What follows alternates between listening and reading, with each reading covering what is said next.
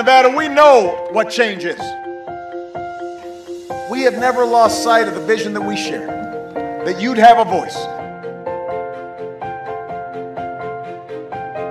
The cooks and, and waiters and, and cleaning staff working overtime at a Vegas hotel, trying to save enough to buy a first home or send their kid to college, they need a champion. I'm not giving up on the fight, and I hope you aren't either, Nevada.